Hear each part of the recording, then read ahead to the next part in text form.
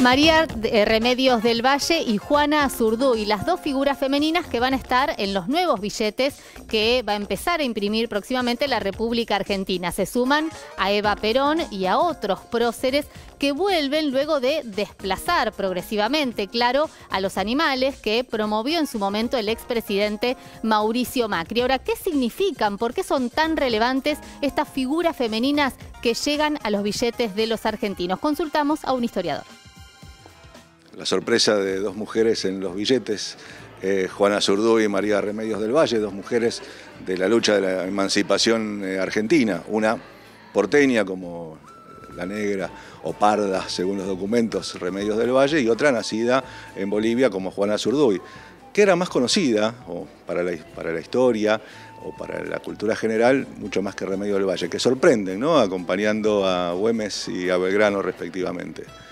y dos mujeres que dieron su, vida, su sangre, eh, sobre todo Juana Zurduy junto con su marido Manuel Padilla, eh, lideraron las revoluciones en, el Alto Perú, en Hoy Bolivia, eh, sangrientas, reprimidas sangrientamente. Juana Zurduy fue una líder que reclutaba gente que ante su arenga y por ser una mujer muchos hombres se sumaban como una mujer iba a luchar y nosotros no, por ejemplo. María Remedios del Valle, acompañando a su marido y a uno de, sus hijos, partió desde Buenos Aires en 1810 en la primera expedición al Alto Perú y hasta 1814 y 15 seguía peleando.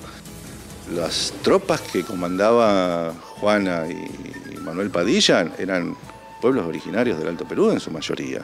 Pero creo que, socialmente el, hecho de rescatar nuevamente eh, a, los, a, los, héroes y a las heroínas de, nuestra nación y ponerlos en el billete nos da...